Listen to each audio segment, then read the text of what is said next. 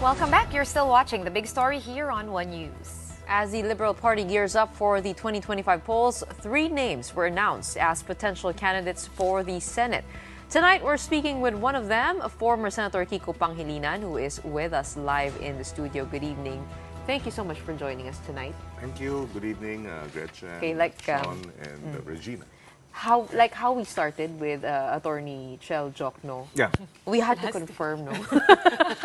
um, Senator Leila De Lima's statement that uh, you will be running for the 2025 midterm polls. So, are you Well, or are you not? I was just with her this morning, uh, and we had that clarified. We are seriously considering that as one option no, to go back to the Senate. Uh, but we have not made our final decision yet. Uh, there's a process that we're undergoing together with Chel, um, uh, BAM. So we're discussing this still. So it's I'm seriously considering it. It's an option, and at the right time, we will make the proper announcement. So you're still waiting for, kumbaga, like uh, normal decision makers waiting for a sign. Um, are there like certain parameters that must be met, or you're waiting Yeah, for? yeah. Well, of course, obviously, you, you, you decide to run because you think you have a good chance of winning. So, uh, and polling is very important as a guide. So we're looking at the polls, we're weighing it, and uh, and then we will see. So numbers. The, numbers are a major consideration, and that's what we're reviewing now. How much work uh, does the Liberal Party need to do after the 2022 elections? Coming from that, I'm sure it was a full run for you. yeah, Um, uh, you- which wasn't my plan, by the way. Originally, I, I had planned on actually the original plan uh, was to uh, go for re-election in the Senate, but uh, Vice President Leni then decided last minute, and I had to decide last 10 seconds. I love that you brought up last minute because my question to you is what is the timeline then? We're just over a little a year out from the midterms. Time is running short, I Yeah, dare say. yes. So what's your timeline for making a decision? what would be Um, last minute before the midterms? Well, this is last minute uh, in the context of a presidential run. So that's uh, that was last minute. A You know, harder last minute. Yes, yes, because that's a one-on-one campaign, president, vice president. So this is the midterm. Uh, you have 12 candidates uh, vying for, I mean, candidates vying for 12 positions. So medyo, it's not going to be as last minute if, uh, you know, uh, compared to a one-on-one fight. So we'll, we'll maybe in the next uh, four or five months, that, that, that might be uh, a, a, you know, uh, a working timetable. What um, what lessons did you take away from the last elections? Oh, uh, digital technology, you know, um, is, is important. Uh, if 15 years ago, I, I, my first national campaign was in 2021, so that's 23 years ago. Um, so if 20 years ago uh, you can't win without national TV, uh, today you can't win without uh, digital media, digital technology intervention. So um, so it's a, it's a major challenge. Disinformation, in fact. It's a malaking uh, uh, bagay yung disinformation. Kasi two-pronged yung disinformation. Eh. They will disinform about their candidacies, I mean your adversaries, and then they will disinform about uh, their opponents, which would be, in our case, us. So, so, and which is what we learned in the last election. No? Uh, two-pronged yung disinformation. Um, and, and, and therefore, we, we, we need to address that. And that's what Attorney Chel was saying. He's uh, m- been busy making uh, legal advice TikToks. Uh, Yes. Uh, we also had a conversation a couple of weeks ago with, uh, of course, another LP member, uh, si uh, former Congressman Teddy Bagilat, and he said, admittedly, no medyo nahuli nga ang LP pagdating sa social media game. And we were even joking about uh, maybe making Manong Edsel Lagman, uh, tuturuan daw paano gumamit ng social media. Have you been busy also tweaking your social media content and maybe, you know, dabbling with the analytics or whatnot? Well, I've been I've been busy with my advocacies even before TikTok came around. In other words, you know, we will do what we will do uh, on the basis of our what we believe in. I, I've been farming since 2012. Correct. I've been chairman of this. I was chairman of the Senate Agriculture Committee in 2010. So it's 2024 now. So I've been I've been at it for the last 24 24, 25 years. I have seen though your uh, agriculture uh, social media content actually. Yes. Of late, that's what ha- I mean. After 2022, that's what I've been seeing. Pag si Senator Kiko, it's always around uh, agri and Yes. farming. I just wanted to get your thoughts. Of course, agri is our main driver of, of inflation right now. It's a big, big problem for every Rice. Filipino. Rice in particular Yes, is the- particularly that. Um, what are your thoughts on our current situation? I just wanted to get a feel. How do you perceive the landscape? And are you happy with um, how our new Agri Secretary is handling everything? Well, uh, you know, I, I did post about the NFA's controversy. 100 plus NFA officials and employees were filed, were preventively suspended. You know, first, I work with these people. There are uh, definitely a lot of good people, hardworking, decent, honest people in, in the bureaucracy, in the NFA. But of course, there are bad eggs. And uh, really, in the end, uh, unless good governance is still, still basic. Um, during my time as uh, Food Security Secretary, we actually were able to bring down rice inflation within a period of one year from 15% rice inflation in June of 2014 to 0.8% rice inflation in June of 2015 with a lot, a number of interventions, including purchasing rice uh, at, at uh, uh, at lower prices without tongpats, you know, going after the hoarders, uh, filing cases, Luzon, Visayas, and Mindanao, uh, clamping down on smuggling, and uh, and uh, rice inflation, yeah, went down from 15% to 0.8%, and in the 20 years, in tw- June 2015, inflation was lowest in 20 years. So you can do it, but it takes good governance to do that, because there is a well entrenched uh, bureaucracy and mm, mm, mm. you, you know the, the suspension of the 100 plus NFA officials was brought about by what? Because traders decided to buy mm-hmm. the rice. Who has the money to buy the rice? Not the NFA, it's the traders. So why aren't the traders being? Uh, who are these traders? Who are their? You know, I think media should look into their names. Who are behind it? How did they get away with it? Because that's the whole.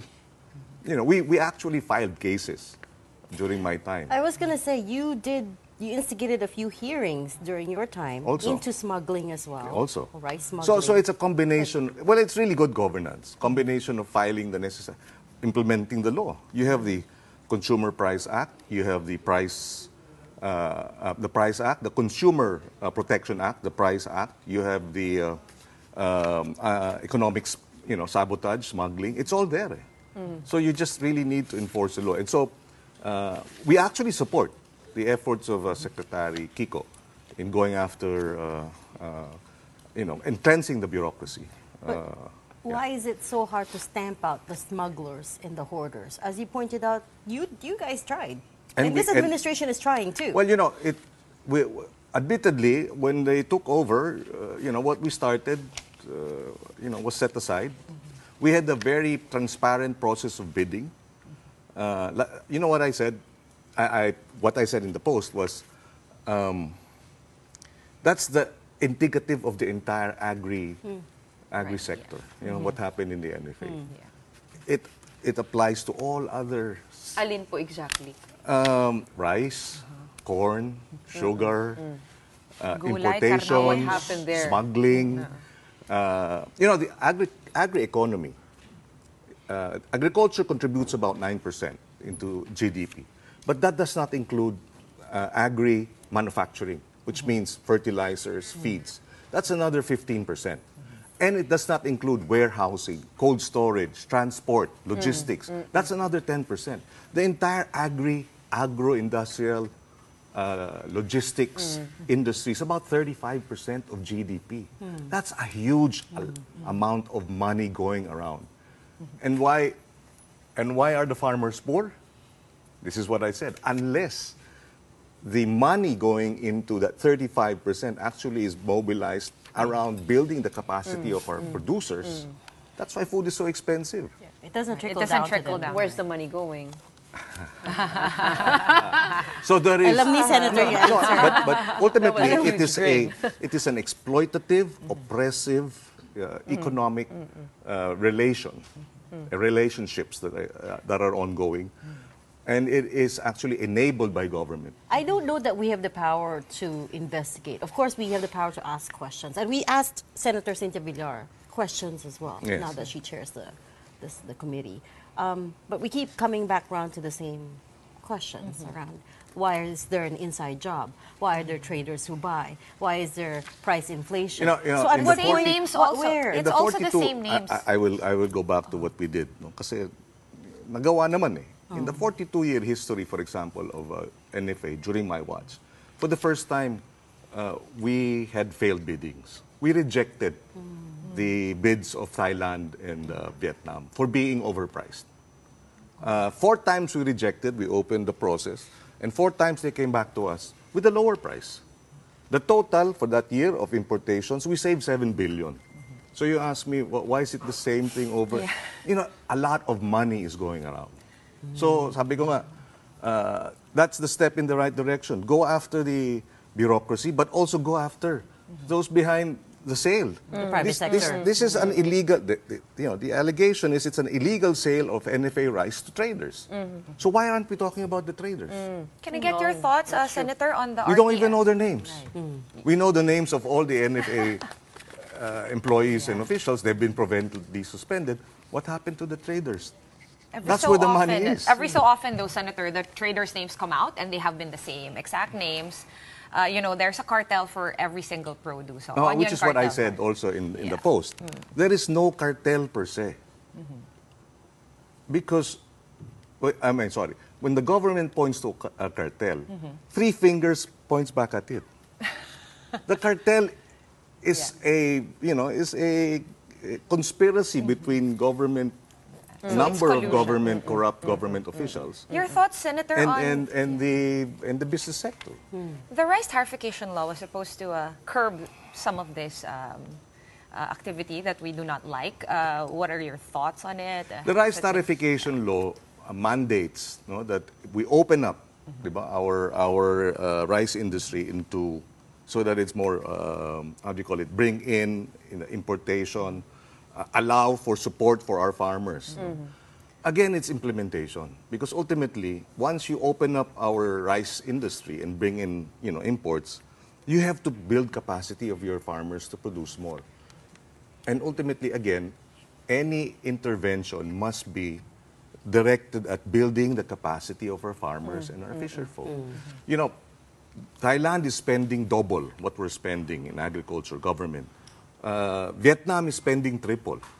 So it's it has to be better spending, but also correct, Yeah. wag corrupt Yeah. spending. Yeah. No? So, so make sure that the resources are brought to uh, uh, supporting and building the capacity of our farmers to produce more. It's also it's why are food prices so high?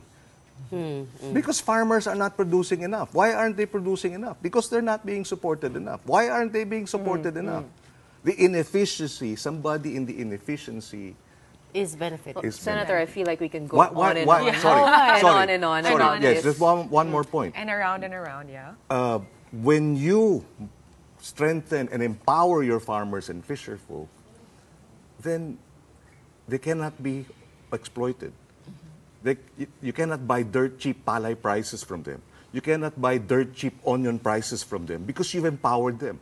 So there is really this antiquated, oppressive mm. Mm. system mm. that is enabled by government and these, sabi ko nga, the unconscionable partnership of greed. Mm-hmm. Okay. Uh, that has Senator- to be addressed. So it's it's good governance. Ultimately, put somebody there who who will not kowtow uh, to the system and who will fight it, with the support, of course, of the president. Uh, that's how you that's how you turn around the agri and uh, economy. Well, it seems that uh, uh, the past years, you know, um, has uh, gotten you to observe all of that. You've taken a back seat the past years. I mean, from being very active in government, of course. Uh, but I'd like to get your thoughts on what's been happening, all the political movements now. Um, first, I think would be You know, it's easier to talk to my uh, my lettuce and my herbs, and You know, my do you think chickens and my pigs. Do you think there is a sense of justice um, under this Marcos administration with uh, the granting of the release uh, on bail of Senator Leila de Lima? Um, you filed a cyber libel complaint. Of course, still with the I filed the two current actually, Um, administration. and I, and I filed and against, uh, uh, and I filed a case against YouTube and Google. So, yeah, we, Mm-hmm. and, will see. and also the criticism on President Marcos's Marcos not doing enough um, to make up for former President Duterte's war on drugs. Uh, what is your sense on the current administration's um, enforcement of justice? Well, you know, it's it's it's a broad, very general state uh, question. Also, but but uh, let, let, us for example, I'm appreciative of uh, this current administration's position on China. Definitely much better than the previous administration, uh, and we support the, the effort to stand up against China and and and uh, to uh, you know. um and be mindful that you know uh, we will not give up an inch. you know. But it has to move forward also. How do we now strengthen our allies, our alliances with ASEAN? How do we strengthen our uh, uh, bilaterals with the U.S., with Australia, with Japan? All those who, who, who believe that we should have a better, you know, that the, who disagree with the aggression that is happening in, in, in the West Philippine Sea. So, so I agree in that regard. That, that is a uh, So tama lang yung pag-iikot ng presidente sa buong mundo. Well, you know, uh, kailangan din niyang ma- magpirmi rito at hanapan ng solusyon yung mga problema rito. But you know, eh, you don't have to you don't have to go hopping everywhere uh, to be able to achieve that purpose of uh, you know uh, pushing for your our rights, di ba? And and our uh, ex- to our exclusive eco- economic zone and our ter- territorial sea. And yet, um, in the, the upper and lower house um, and with the administration now, we're seeing a new opposition coming forth, the Dutertes and the Marcoses. Uh, where does the Liberal Party find themselves in all of this? Are you still in your You know, it's so opinion? easy to are you say still the- opposition. You know, That's why I We- wanted We've to. seen that already. Eh. Ang dali-dali magsabing opposition, ang dali-dali magsabing la, magkaaw, ano, ayaw natin ng corruption, ang dali-dali sabihin eh, na, kung ano-ano, di ba, that we are for the people. Eh, ang, ang panawagan ko na lang, imbis na i-comment ko na lang yung sinasabi nila, doon sa taong bayan, maging mabusisi tayo, huwag tayo basta-basta magpapaniwala. Pag sinabi natin opposition, eh, totoo bang talagang opposition? Dahil sa ah, dahil sa paninindigan o ito'y oposisyon dahil ah, may sariling interest na pinoprotektahan, di ba? Ah, dati ay gusto ng tsacha. Ngayon, ayaw ng tsacha. Di ba? Sa- sa- ba- ano ba talaga? But actually, that's what the analysts have been saying, right? With a divided unit team, there is an opening for the Liberal Party now to come in. You could break up the numbers. You could gain more Well, of you their know, a, a third poll is possible, but that uh, whether or not may appetite for that uh, remains to be seen. But you know, in 2007, actually, I ran as an independent in the midterm elections. I did not join ERAP's administration. I did not join GMA. I mean, ERAP's opposition and GMA's administration because they decided, di ba? Okay, uh, uh, opposition will be headed by ERAP, administration by GMA. And I asked them both to resign. So I said, I cannot suddenly out of the blue, after asking both of them to resign, I will align and say, sige, joke only, no, I have to win. So I ran an independent campaign. I did not join any of the big tickets. That was, in a way, um, a third option to the two. But it was viable then, in my sense, because uh, uh, the administration was not very popular under GMA. And of course, there was people power too. EDSA was EDSA DOS, and, and therefore the, the president, So former is it president possible again, Senator, next year that you could uh, take that same road and run as an independent? Is that in in the possibility of choices? Well, uh, sabi nga nila, uh, politics is uh, the realm of the possible, di ba? And uh, depends. If they're going to go down that road and they're going to attack one another, then there might be an option for a, a, a an alternative to both. But we will see. Si former VP Lenny, nakausap niyo po ba? Nakakausap naman. convince ninyo na tumakbo? Well, we, we you know, her, her concern is uh, politics in, in the local uh, because of the legacy of Sen, uh, Sec Chessy. So I, I can understand that and I respect that.